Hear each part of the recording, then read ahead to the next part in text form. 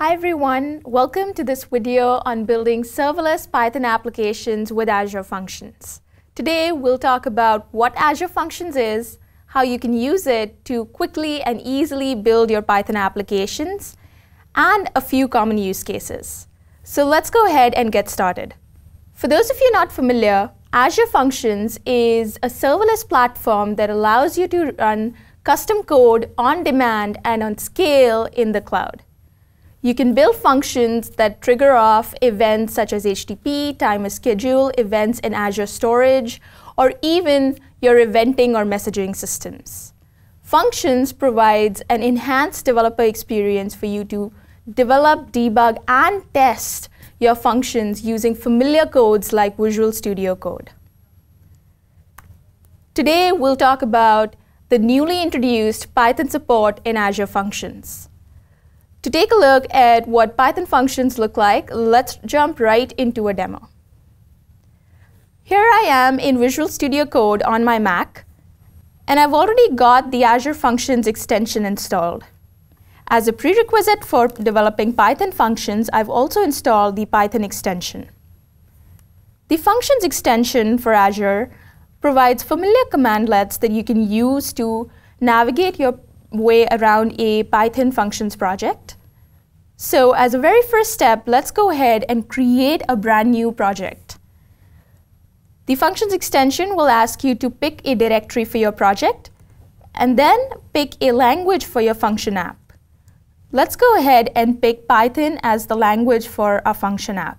And once we're done with that, the next step would be to go ahead and pick a trigger for your function. As you can see from this menu, Functions provides a variety of triggers such as HTTP, Azure Storage, Cosmos DB, Event Grid, Service Bus, and even the timer schedule. For the purpose of this example, let's go ahead and pick the HTTP trigger provided with a friendly name and an authorization level for our HTTP endpoint. What this did was it went ahead and created a brand new function project in VS Code. A function project is similar to a function app in Azure. It can contain multiple functions that share the same hosting configuration, local run configuration, and even the dependencies shared between the code. VS Code already populated a HTTP trigger function for us, which contains a few different files. The first one I want to talk about is function JSON. This is the JSON configuration where you define the script file that serves as the entry point for your function execution and any triggers and bindings used by your function. Each binding contains a binding type, a direction, so whether it's an input or an output binding, and a name that we'll use to refer to the binding data within our function code. So let's switch over to the script file to actually view what our function looks like.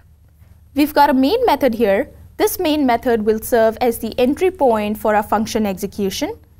It'll take as input HTTP requests, which was the input binding that we defined in function JSON, and output an HTTP response. The main method has been provided with a root logger that you can use to write logs to application insights when running in Azure and to your local console when running locally. Since this is an, a hello world template for your function, this function will grab the name parameter from the query string and output it as an HTTP response back from your function. Since Azure Functions is completely open source, we can go ahead and run this function project right here locally on my machine. For that, I'll go ahead and execute F5 for VS Code.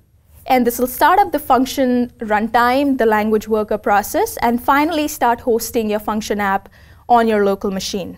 Since we installed the Python extension, we can also take advantage of the debugger that the Python extension provides to attach to the Azure Functions process.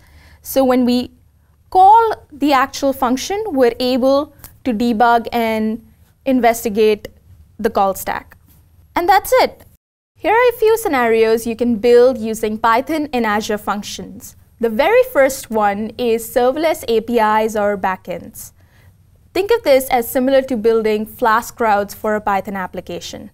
You can use the HTTP trigger in Azure Functions to build REST endpoints against a Cosmos DB backend. The second one is data processing and machine learning workloads. You can package up a trained model and a scoring script with your function application to create a serverless inferencing service. And finally, automation workloads like resource cleanup and management services for Azure. With that, we come to the end of our video. To build your very first Python function, follow the AKA-MS link on the screen to get started today. Thank you and have a great Microsoft Build 2019.